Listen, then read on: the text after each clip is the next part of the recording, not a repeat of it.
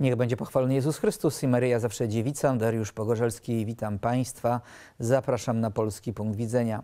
Naszym gościem dzisiejszego wieczoru jest pan poseł Paweł Lisiecki, Prawo i Sprawiedliwość. Witam, szczęść Boże, panie pośle. Szczęść Boże.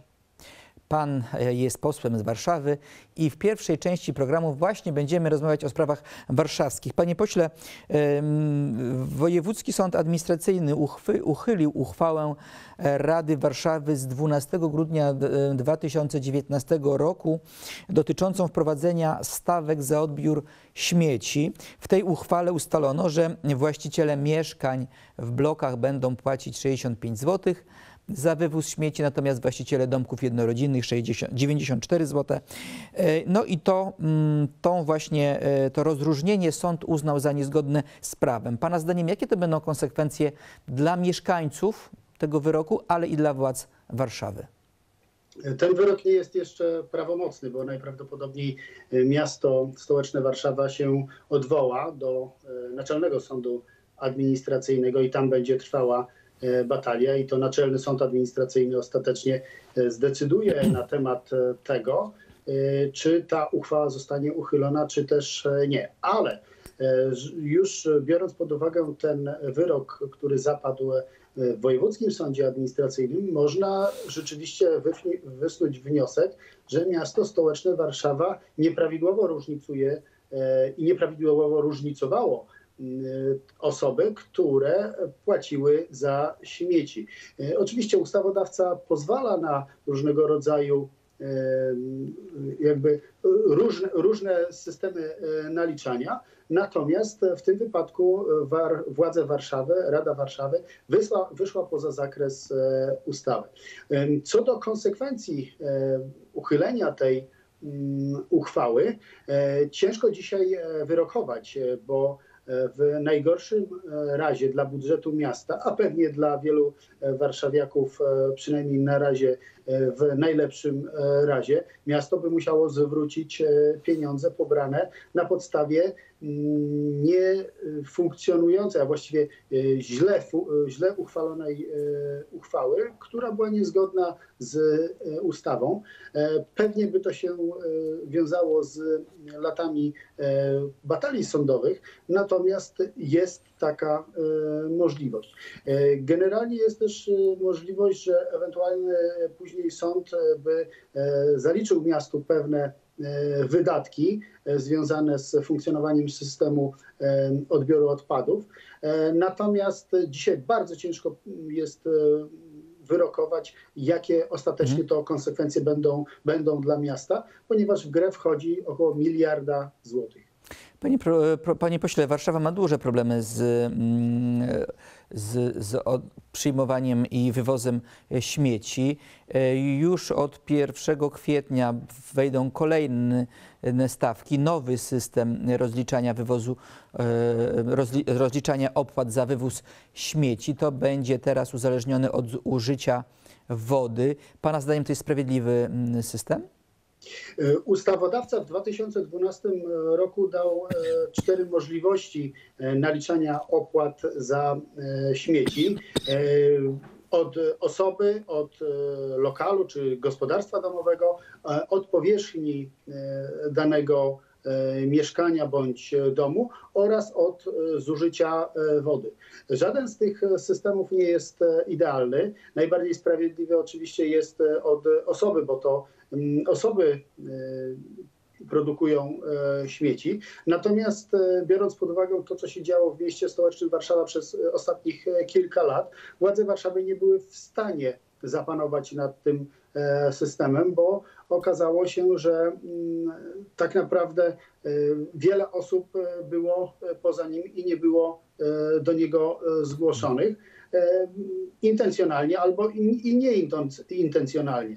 E, w związku z czym e, no, są różne systemy. Czy on jest, e, czy ten system poboru opłat od zużycia wody jest sprawiedliwy? Na pewno sprawiedliwszy jest system pobierania opłat od osoby, a nie od zużycia wody. bo też problemem są stawki. Te stawki są dość, dość wysokie. W tej chwili rzeczywiście to jest duży wydatek, a być może będzie jeszcze większy, zwłaszcza dla rodzin e, wielodzietnych, kiedy to zużycie wody w mieszkaniu jest dość duże. E, Panie ministrze, dlaczego Warszawa ma takie problemy z, i ze stawkami, no i z jakimś zapanowaniem nad, nad, nad wywozem śmieci? No, nie ma tej spalarni, nie ma właściwie mm, ciągle jakiegoś racjonalnego i, i skutecznego systemu segregacji tych śmieci i, i całego przerobu. E, Kiedy Pana zdaniem e, taki system będzie, taki system powstanie? Panie redaktorze, e, Unia Europejska, no bo tutaj trzeba jasno wskazać e, źródło mm, problemów e, Warszawy. Unia Europejska narzuca pewne rozwiązania związane z gospodarowaniem odpadami komunalnymi i chce, żeby określony procent śmieci, odpadów był przetwarzany, to znaczy odzyskiwany, a nie jak do tej pory w wielu przypadkach było składowany. E, Przypomnę, że w Warszawie, właściwie obok Warszawy, znajduje się taka e, góra śmieci w Radiowie. E, W momencie, kiedy były miesiące letnie i nawiewał wiatr z tamtej strony, no to na Bielanach, Żoliborzu, em, Bemowie można było poczuć naprawdę niemiły zapach.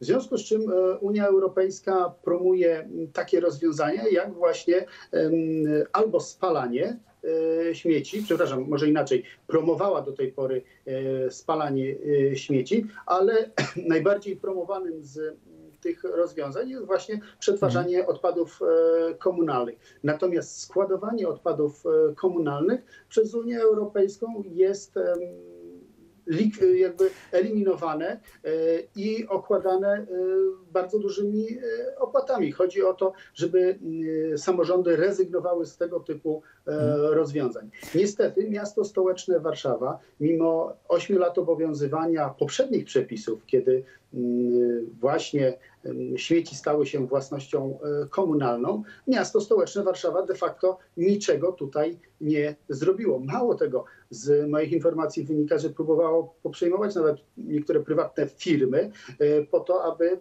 e, aby taki system, które one w jakimś, w jakiś sposób e, mają, m, przejąć. Natomiast to się do tej pory e, nie udało. Miejskie przedsiębiorstwo oczyszczania okazuje się niezbyt e, wydolnym organizmem. Wynika, wynika to po prostu z organizacji odgórnej i miasto stołeczne Warszawa ma bardzo duży problem. Mało tego, regionalne instalacje przetwarzania odpadów komunalnych, które powinny powstać na e, Mazowszu, e, tak naprawdę do tej pory, e, o ile sobie przypominam, nie, nie powstały. E, Albo jeżeli powstały, to nie obsługują e, Warszawy. Warszawa generalnie składowała śmieci w e, Radiowie, potem wojewoda e, zaskarżył to funkcjonowanie tego wysypiska e, śmieci. Warszawa długo walczyła o to, aby nie zamykać e, Radiowa. E, Kiedy już wojewoda doprowadził ostatecznie po wyrokach sądów do zamknięcia Radiowa, no to miasto stołeczne Warszawa co zrobiło? Zaczęło rozwozić śmieci po e, Polsce. E, No i w związku z tym e, Stąd e, tak e, drogi system i tak drogi system e, przetwarzania, właściwie nie przetwarzania odpadów komunalnych, bo ciągłego ich składowania. E, Panie ministrze, tymczasem prezydent Warszawy, pan Rafał Trzaskowski, wielokrotnie powtarza, że te problemy, które mm, miasto ma e, z wywozem śmieci i problemy, jakie mają warszawiacy z kosztami e, tegoż wywozu, to jest efekt działań obecnego rządu, to jest efekt działań Prawa i Sprawiedliwości. Panie redaktorze, y, ustawa, która została przyjęta, wynika wprost z dyrektyw Unii Europejskiej.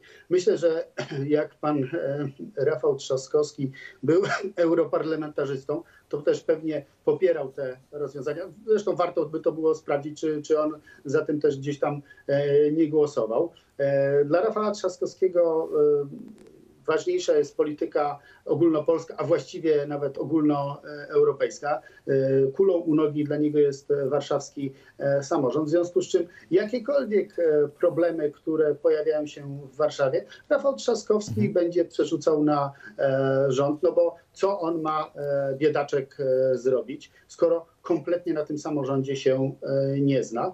Mm, Więc no, tego typu zachowania będą się powtarzały. Zresztą w przypadku Czajki to też prawie mu, że przez gardło przeszło, że to, że to wina, wina rządzących, że taka katastrofa miała miejsce. E, Panie e, pośle, m, przejdźmy teraz do spraw e, ogólnokrajowych, do polityki, polityki sejmowej i rządowej. Panie pośle, mm, dzisiaj pan premier Morawiecki zaprezentował Krajowy Plan Odbudowy. To jest taki program, który ma pomóc naszej gospodarce w odbudowie po kryzysie pandemicznym. Panie pośle, pana zdaniem ten Krajowy Plan Odbudowy będzie przegłosowany w Sejmie? E, Zobaczymy. Ja nigdy nie mówię, e, że coś jest na pewno. Dwie rzeczy są e, na świecie pewne: śmierć i podatki. To pani marszałek Zobaczymy, wczoraj jak, mówiła na konferencji Sejm prasowej. się do tych spraw ostatecznie ustosunkuje. E, Myślę, że jest to ważna rzecz, żebyśmy mieli ten e, krajowy e, plan e, odbudowy, e, no bo to są konkretne pieniądze dla e, Polski. E, W tej chwili no, e, czy je weźmiemy, czy e, nie, to na na międzynarodowej arenie sytuacji Polski tak naprawdę e, nie zmieni. A chodzi tutaj o to, abyśmy szybko, e, w miarę szybko uruchomili e, gospodarkę, bo myślę, że naprawdę wszyscy jesteśmy już zmęczeni tym koronawirusem i obostrzeniami z nim związanymi i one w dużej mierze tak naprawdę wiążą gospodarkę. A myślę, że polscy e, przedsiębiorcy oraz polscy mm, pracownicy są na tyle dobrzy, że e, są w stanie Panie, konkurować. panie e, pośle, nie pytałbym pana o to, czy ten plan odbudowy przygotowany przez rząd e, znajdzie większość w Sejmie, gdyby nie to, że e, pana e, kole, koledzy z koalicji, posłowie Solidarnej Polski zapowiadają, że nie zagłosują za tym planem. Pana zdaniem to nie jest zbyt poważna decyzja, zbyt poważna sprawa dla koalicji, aby jeden z koalicjantów no, powiedział, uznał, że, że nie poprze e, tej ważnej dla rządu sprawy. Myślę, że to jest, e, ta sprawa jest bardzo ważna. E, Myślę, że bardzo ważna dla wszystkich Polaków. Nie jestem w stanie dzisiaj zadeklarować, że członkowie Solidarnej Polski, no bo sam nie jestem w Solidarnej Polsce, zagłosują za tym Mhm. Krajowym Planem e, Odbudowy. Niedobrze by się stało, gdyby e, nie zagłosowali, albo gdyby ten Krajowy Plan Odbudowy e, przepadł.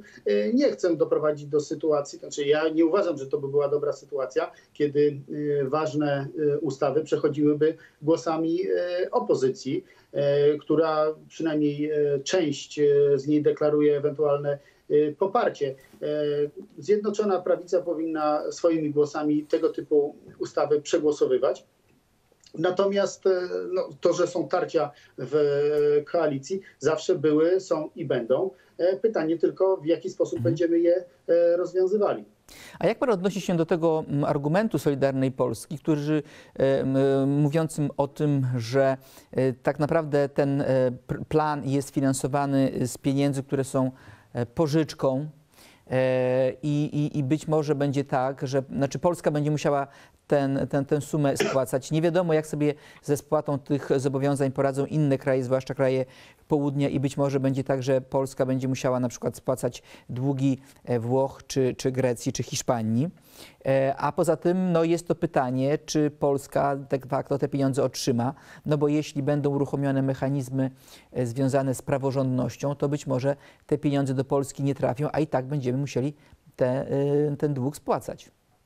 E, Panie redaktorze, to, że będzie e, w tym planie odbudowy e, część pieniędzy pochodząca z pożyczek, duża część pieniędzy pochodząca z pożyczek było wiadomo od, od lata zeszłego roku. I to nie jest żadna nowość. Co do tego, czy dojdzie do sytuacji, w której Polska zostanie zablokowana, jeżeli chodzi o wypłatę tych e, pieniędzy, no to szanowni państwo, e, ciężko tutaj m, przewidywać, żebyśmy e, spłacali e, środki, które nie zostały nam e, wypłacone. E, W związku z czym, jeżeli e, jedna z, ze stron nie wywiąże się z umowy wypłacenia tych e, środków, trudno, żeby e, druga strona, która miała otrzymać te środki, te pieniądze spłacała. Oczywiście też jestem em, może nie tyle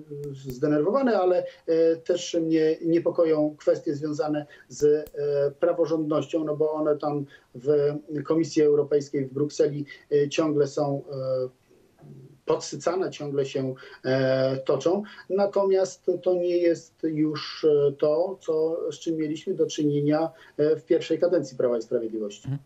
Y, Panie pośle, mm, a jak wygląda sytuacja mm, odnośnie wczorajszego głosowania? Wczoraj była mm, wniosek opozycji y, Koalicji Obywatelskiej o to, aby rząd przedstawił informację o finansowaniu y, z, z Funduszu Wsparcia Kultury artystów, którzy no, też ucierpieli w czasie kryzysu pandemicznego. Ten wniosek poparła też Solidarna Polska. Czy nie za dużo jest takich różnych prób, e, które, które, które e, są między koalicjantami i, te próby odbywają się na arenie e, publicznej? Czy to nie zaszkodzi przyszłości koalicji? Czy ta koalicja rzeczywiście jest bezpieczna, e, panie pośle?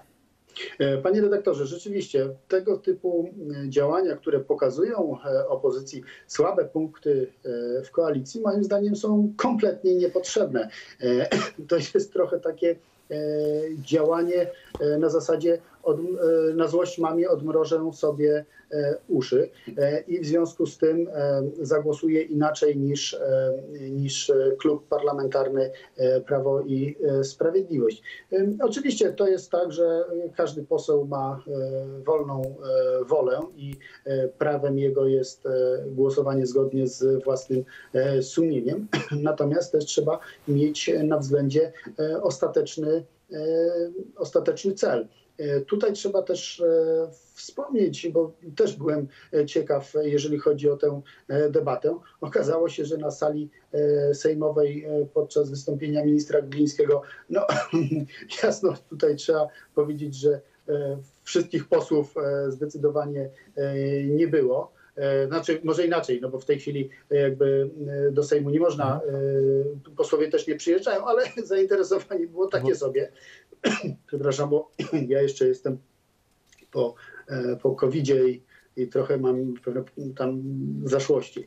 E, Ale kontynuując, e, minister Gliński powiedział wprost, że Sejm zobowiązał go do takich, a nie innych rozwiązań, które miałyby pomóc e, m, artystom niezależnie od barw politycznych i znaleźć takie rozwiązanie, które będzie e, najmniej e, polityczne. No to wybrał e, rozwiązanie związane z, mm, z e, dochodami. No i podział był taki, a nie inny. Panie pośle, bardzo panu dziękuję za przyjęcie zaproszenia, za e, udział w programie. Dzisiaj naszym gościem w Polskim Punkcie Widzenia był pan poseł Paweł Lisiecki e, z, e, z Prawa i Sprawiedliwości. Bardzo panu dziękuję. Dziękuję panu, dziękuję państwu. Dziękuję Państwu za uwagę. Polski punkt widzenia już jutro o godzinie 21.40. Początek programu. Teraz życzę mm, dobrej nocy. Do zobaczenia z Panem Bogiem.